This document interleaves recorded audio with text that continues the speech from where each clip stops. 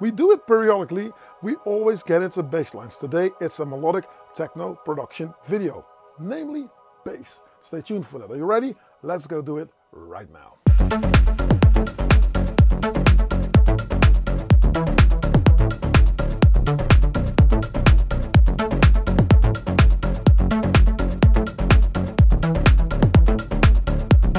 Check it out, I'm Analog Kitchen and thank you for checking out yet another video. Now if this is your first time here, do not hesitate to click subscribe and hit that notification bell. Whenever I upload a new video, you'll be kept in the loop and you'll not miss out on anything. Stick around till the end of this video, I'll tell you about the three new patrons this week. I'll tell you about this sexy looking merch that I have and I'll tell you about the community that's vastly growing on Discord. About today's topic, a lot of people fall into a certain pitfall when they try to produce music that they do everything at the same time. Now, I try to organize my stuff in certain ways. You know that already. I've got this ABC structure where I'm looking at building a house, first the foundation, then the walls and everything. You just build your track up gradually, and the main objective is the house should never collapse. This sounds a bit cheesy, maybe, but the amount of times people come to me and they say like, mm, halfway in my production scheme, I had to change the bass drum. Now with the ABC structure, that is something that cannot happen. It's like video game. You have to kill the end boss before you can advance to the next level. Bass comes in that same category. My bass lines are not something that I can just dream up. I have to just do it by means of hearing a certain groove. If I hear a groove, then all of a sudden it comes to me, but it never comes to me if I don't hear a groove. So what I've done, I've got seven drum loops that I did get out of sample pack. The Unison chord pack, by the way, there were some really cool melodic techno drums in there instead of making like a, a seven complete things. So, because it's not about the beats, it is about the inspiration of the beats, but it is about the bass line. So, seven different bass lines. There is a Reese type bass line, very, very uh, wobbly. There is some sort of a dubstep kind of wobble bass line. I made an arpeggio bass line. There is so the long extended um, uh, melodic techno classic bass line. There's a progressive bass line in there, and I've made seven. Now, why the number seven? I think people in the chat by now, if you're watching the premiere, they know exactly why I've chosen the number seven. It's the magical number. If I hear a groove, sometimes it, it tells me, do I need to play a lot of notes or do I need to just like back off a little bit? In any band, in any orchestra, in any place where multiple people are playing music together, this is a rule. Not everyone can run to the goal at the same time. So somebody needs to make way for somebody else. That's just how it works. Certain drum loops are very busy. They just don't leave a lot of room for you to just like go crazy on your new synth. Nice for the gas, leave it out there. So obviously what you need to do is find spots where it goes, where does the bass line move. And remember, I say it often, the groove is not the notes that are being played. Groove is the absence of notes being played. It's the gaps in between the notes that make up the groove. So certain bass lines have to start on the first measure, on the one. Other bass lines should never start on the one. And it, it depends. So there's plug-in bass lines today, there's FM bass lines, and then there is the classic Moog type bass line. And I've said the word bass line way too many times, so if it's a drinking game, you should be drunk by now. If not, let's go head to the live set let's see if we can make another bass line video. You ready? Let's go. All right, so now let's play some beats first, and then I'll tell you what I think works on those beats.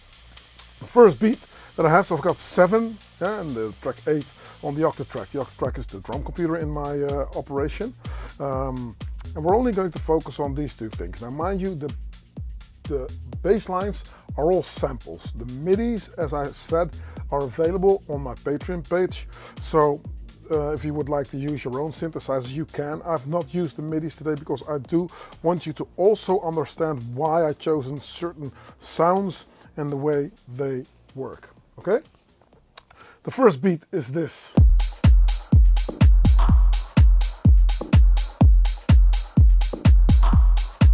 So you can clearly hear that there's some sort of a bell in the background, some, something sitting in the background, right? Now, all the bass lines are eight bars long. So there is a small variety on the fourth bar and on the eighth bar. Let's go in and listen to what the first bass line does. I got it on pad mute, so they're all here. And what I've also done is I stuck the bass line out of a separate output of the Akai into the Acid Box 3 as I don't want to map out filters on the Akai today. I just going to use the Acid Box 3 for that. So first bassline plays.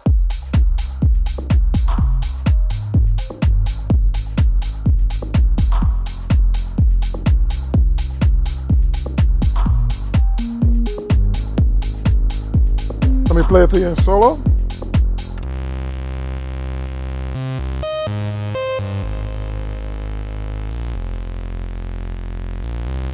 A little bit of effect coming from the senses and one on which I've got a digital delay and the black sky here.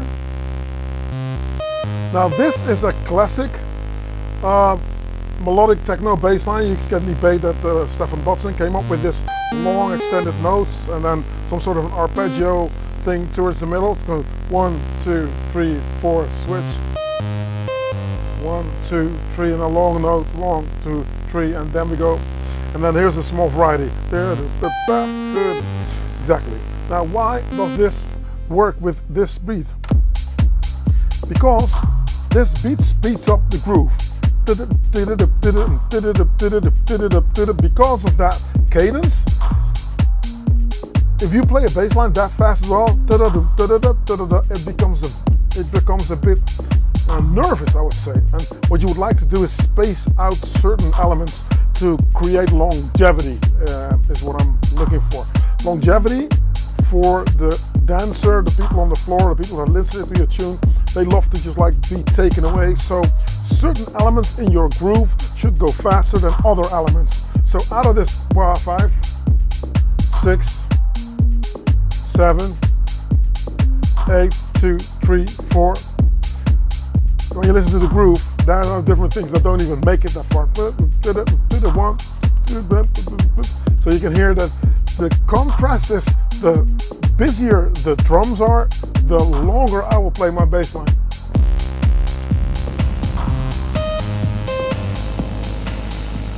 I'm loving this. We're easing into this uh, today. Got a bit of an effect going on here, is rather loud. Make sure that it's not that loud that it is right now. So on C&B on the Octatrack, I've got a reverb map. So that if I open it up, it takes uh, the filter, which is on effect one, takes out uh, the low end, and then the reverb will go on effect two. And then you can uh, play around and go back in. Cool. Bassline number one, right? So I like it. Let's move to a different groove. Let's close this off. Second beat is this.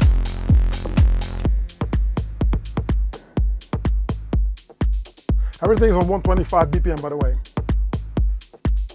Now, another groove where you can clearly hear that the tom is making groove. Boom. I would like to say this groove in itself is an A category groove. Do you need a bass line?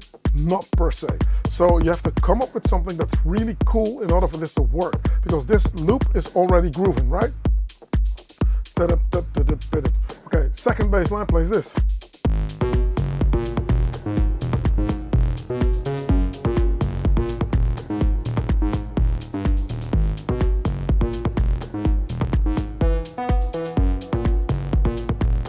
triplets, right? Uh, uh, uh, on the So there's only two times when it starts on the one. Um, one. So, and again, this is kind of a carousel, a revolving door, uh, because you would like to make an infinite loop as well, where your groove goes in a certain direction.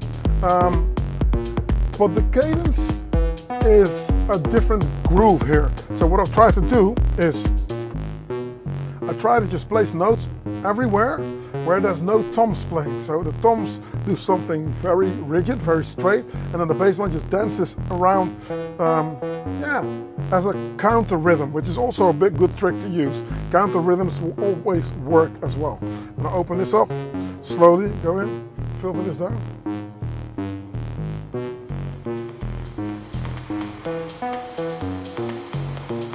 One, two, three, back in. Liking this. So as I said, you can find these MIDIs and the sounds also if you want to use them in your own production, you want to just fiddle around, you just want to uh, replay this video uh, with the sounds, you can find it on my patreon.com slash Kitchen. Yeah? Okay, this concludes beat number two. Okay, I'm going to take this out, I'm going to go to beat number three.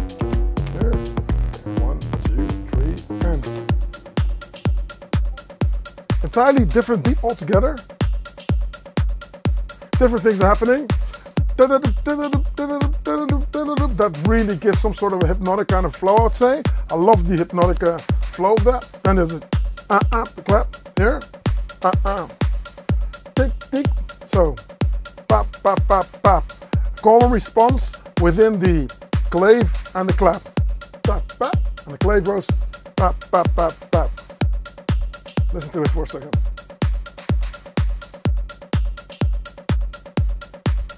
Nice clap, also a steady clap. A bit laid back. So now, let's play that bass line.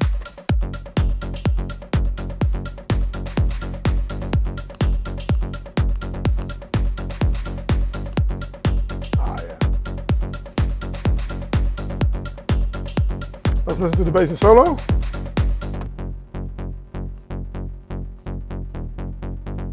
This um, is a DX7 bass. So the DX7 is renowned, very FME, very 90s I would say, 80s almost. And um, when I've got these bright elements in the drums that we have here, it's always cool to have some sort of a, yeah, snappy bass line that's not too moogy. Moog basses are very thick, very round, and um, I tend to find that the FM type bass where you work with operators and you have one oscillator uh, influence the other one, um, it gives off a little bit of a, of a more gritty character. And listen how that plays with the beat.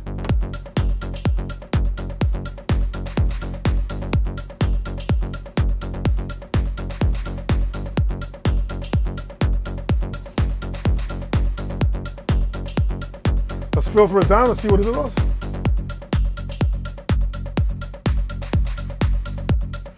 Now the trick one to use is to always make sure that if you make a bass line, if you program one, it needs to fit into this groove as a jigsaw puzzle. It should never be this uh, hairpiece that you can think away of somebody's head just because it doesn't match up. It needs to be there and you shouldn't notice it. Think of CIA, you know, the better you do your job with this stuff, the less people notice that you have borrowed stuff from different places. Let's go back, out, low, in, bass. So this is a snappy bass and it does two things. If I filter it down, there's still enough body for it to just carry the track. So if you would like to add a lead or you would add, like to add something else.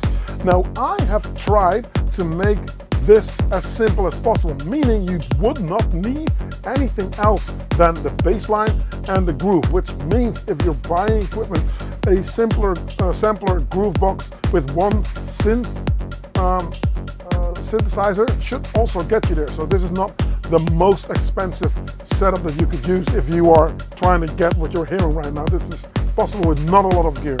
So yeah, I'm liking it. What else can I tell about uh, say about that uh, bass line? I played it. Let's go in and I'll show you what I can do with the sequence. I have played something that if you sample it, it's easy to do. On the Akai, I can say how much of the sample should be played. If I take put this on four, it's going to be it's going to be steady. Let put it on two.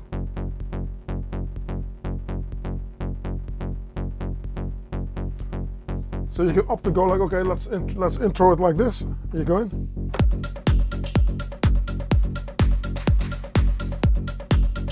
Simple, right? So if you want to build up the track, build up your groove, you know, this is how I basically look at it. The sample is only playing bump. You can see bump, bump, bump. So the eight bar um, segment that I have is only playing one bar now to half of a measure, even one, two, one, two, one, two, one, two. Take out low, open the filter, and now it's going to play a full bass line. One, two. Bum, bum, bum, because it takes a while for you to pinpoint where the notes are coming from, it's it's giving longevity again, right?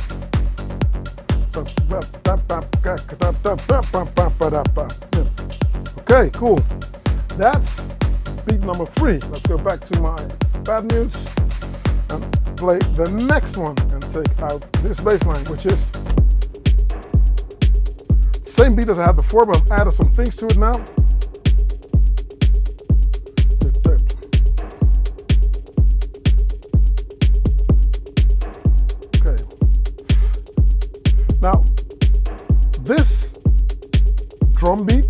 Got some elements in the background, but, uh, but that, that, that side stick kind of very thin 606 type snare drum or an 808 even, but even um, added it. I think you need more hypnotic for this, right? So let's see what the bass line does. I'm. See what we got. Bass line number four.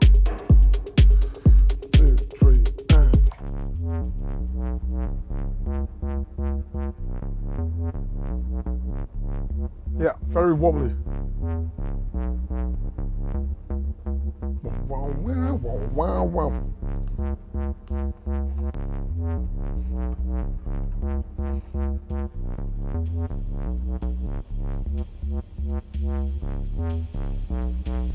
Building up some tension. See how it goes with this groove.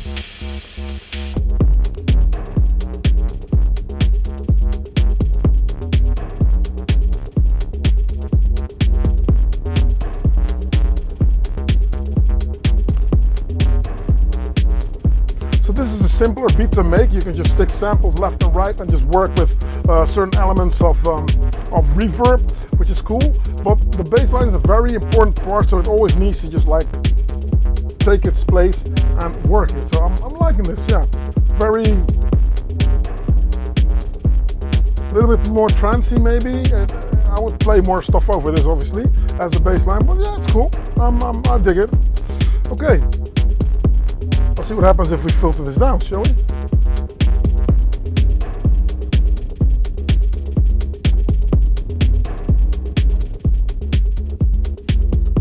Forget to turn down, uh, to close off the auxiliary sense, otherwise you get effects all over the place.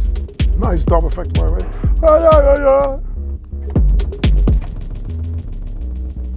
Nice if you're doing dub stuff. That's the D, uh, DD7 by the way, It's a really cool, um, cool effect to use for dub effects. I'm liking this.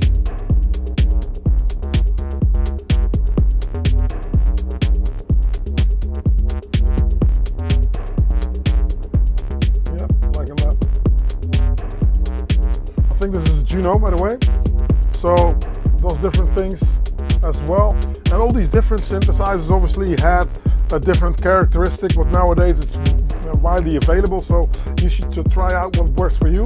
Um, if you have a Novation Peak, I think you can get into some FM stuff there if you would like to, if, if you would like to um, uh, use different bass lines.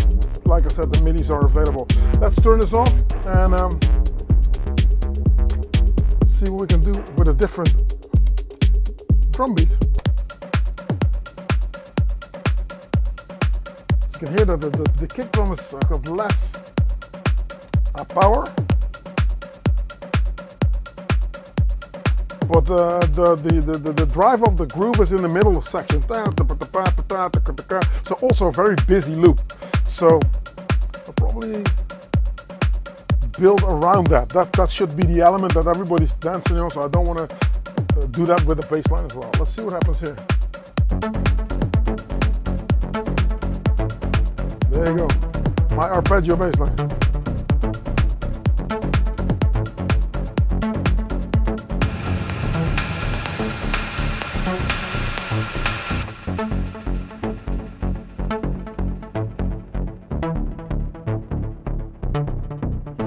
On the midis you can decide whatever effect you would like to stick on there yourself obviously. Put a bit of delay on there.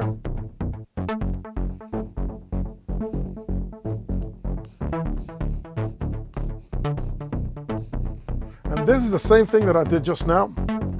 Open up the groove. One, two, three, four, five, six, seven, eight.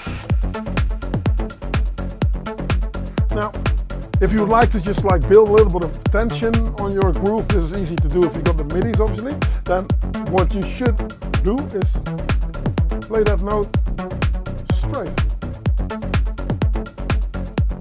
Now the bass line is just gonna go, whatever. it's gonna stay on the same root note. Bum, bum, bum, bum.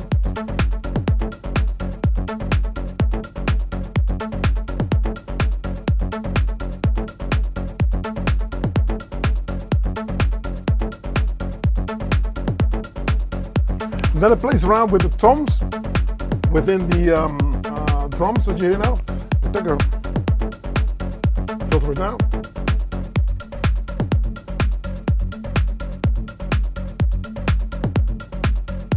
Nice man, I'm liking this.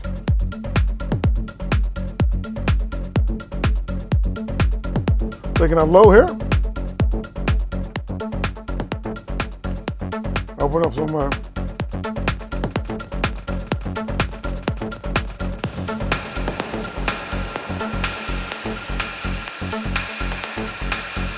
full bass line.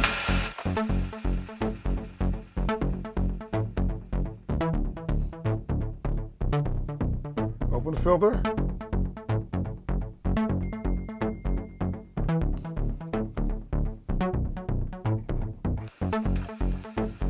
Build it back up. Reverb on the drums.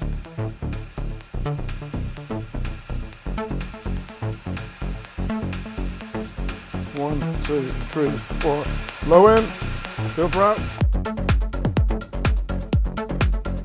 Obviously this is a complete drum loop. Usually I have my drums all spaced out and I can do whatever I want. For now, for the sake of this uh, video, just wanted to just like get into a simpler kind of approach, right? Okay, are you ready to go to number six? Let's check it out. What else we got?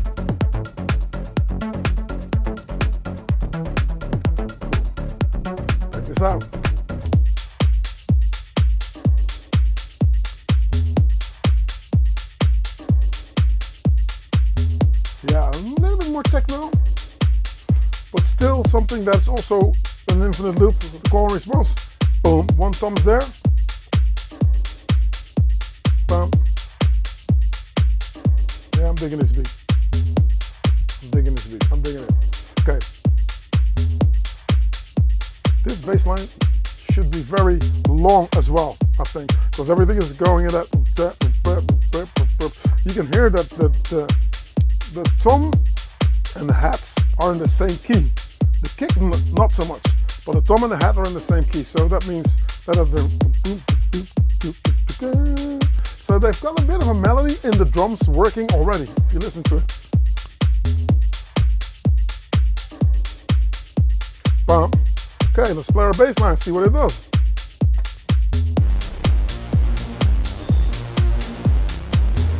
Woo, dirty. There's the Reese bass line. Let's filter it down. That's very powerful.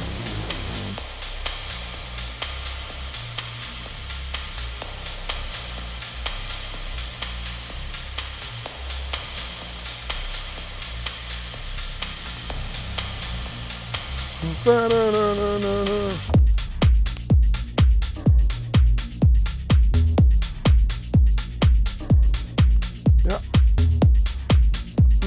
around with the bass, build it up.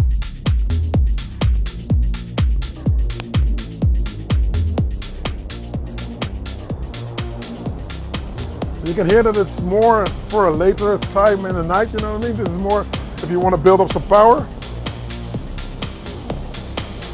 Let's do another round, building up the reverb. Never be in a hurry. Just take it slow. Get into the groove, feel the groove. Feel the room, feel the vibe. Never hurry. Cool. Open up the filter here.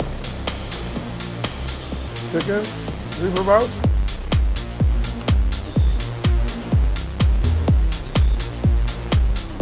This is the Moog modular, by the way, that I've used. And there was a Bode filter on there as well on this specific uh, sound. So there was a lot of stuff that was happening with this bass sound already. So if you play very long notes, it'll be nice to have some filter movement, some LFO movement on the sound so that the sound in itself travels while it does a rhythmical thing within the LFO of the sound, not so much where the notes are being played. So this is basically five in the morning, head in the speakers kind of vibe, obviously, but uh, oh yeah, has to be done. I think I can take you into the last of the drums and the last of the bass lines. Uh, let me know in the comment section if you're digging this, by the way, if you're dancing, by the way, uh, which is uh, mandatory. Should be dancing. All right, let's get this wrist out and a different beat. No beat, cool. There's the beat. Now I've tried to make a cross between progressive house and techno and maybe some elements of trance because I do think that within that cross pollination, that crossover uh, uh, stuff, there's a lot of cool things that happen. As I said in the intro, this um, this music is, is, is open to for interpretation really you know? It's, it's open. You can do different styles different stuff um, and that's what I like. So okay. I'm not even sure what the last baseline is going to be all about. So what I'm going to do is uh, be like you guys take out the drums and hope for the best very new wavy yeah This is a CS80, by the way, that I made this with. So then you know what kind of character uh, sound it is.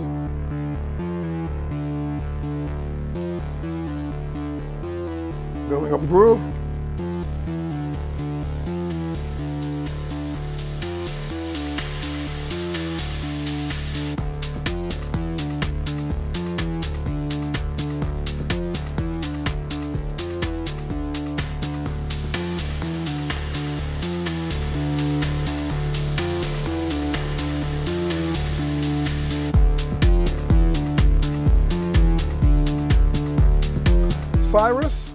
Trent, and Marcus Osmers are the new patrons for this week. Guys, thank you so much for checking it out and thank you for following and supporting. This is a cool thing and you came in the right spot because the MIDIs and the audio, everything you heard me do today is available on Patreon for you to check out at your at will if you would like to do so. So that's how that works. So that's on um, patreon.com slash analog kitchen. And then there's the bridge to Discord, because the Discord app is a very, very cool one. Uh, originally started for the gamer industry, I think. Uh, gamers used it, and now us synth lovers can use it as well because you can do video chats, which is probably what's going to happen after this video, after the video premiere, if you're watching it live. You smart, smart, smart person. Um, and um, we talk about everything. We talk about how to connect your stuff, what is a good synthesizer, what, what to buy, what not to buy, how to package it, how to make your fly case, um, how to make tunes, helping each other out with productions. Uh, and you can get closer to me if there's uh, more questions than answers that you have. That's never a good thing, I think. So you can get close to me and I will explain um, gladly on how I got to the point of what my journey was, is, and what I expect to do in the near future. So, uh, and it, pro it, proves, it has proven to be a very fruitful um, yeah, place. I love it. I like to do, I like to be there. So do check it out. Now, um, that's how I run my bass lines. I mean, I have played in bands, I've played with bass players, I've played with drummers, and I do think that the rhythm section is a very strong thing. And I do believe that dance music, especially with progressive house, I do think progressive house is one of the most um, musical forms of electronic music where there are different things possible. I mean, different eras, eras come together, I should say. Um, so if you want to do an FM bass line, it's possible. If you want to do a classical Moog type deep bass line, that also is possible. And I really like the fact that it sets you apart a little bit more, or you can just like space out what you want to be or where you want to go with your sound a little bit better. Um, as I really hate to be stuck in a rut. I used to make one this one specific sound of music, and at some point I was like, ah, sometimes you wake up in the morning and you, so you just don't want to make that kind of music because you just don't feel like it. And that, so I think giving yourself freedom within your production um, um, scheme is true freedom for yourself. You know, it's, it's making it fun. Otherwise, it becomes a job, which is what it sometimes becomes anyway. So it'll be cool to be free and, and do whatever you would like to do. Now, if you don't get it at first, you have to just like keep going at it. After a while, it becomes clearer what you can do, where you should go, how you should come about it. And I do think that these videos are going to help you out to get to your goal a little bit sooner. Now, I was uh, recording for Analog Courses, uh, the course that long awaited, but it's coming. I was recording this week and I was like, yeah, this might be a good topic also to do because this is exactly how I approach my bass uh, lines. Now, uh, that course, uh, the, especially the uh, electronic songwriting for melodic techno, that course, um, it is everything other courses are not. I will try to just like really tell you why something works instead of how something works. I mean, I don't think you're, you're um, interested in knowing uh, what the knobs on certain compressors uh, do if you don't know why you should use it in the first place. So I'm really looking into my career on how it works for me, how my music works, and it's been trial and error for me. So obviously the stuff that I just bumped my head on, you should avoid that. That's why that course is going to work out. So yep, videos are being recorded. I'm very happy for that. Stay tuned for that. AnalogCourses.com. Am I still talking? Yes, you are. Okay, about time to shut up and get out of the Dutch. I'll catch you guys in the chat. If not, Thanks for watching. Next week, another video. Keep watching this space. Do check out the sexy merch that I'm wearing. Ah, can you believe it? I think that this might be the first time in three years of this channel existing that I've wore, worn anything other than black.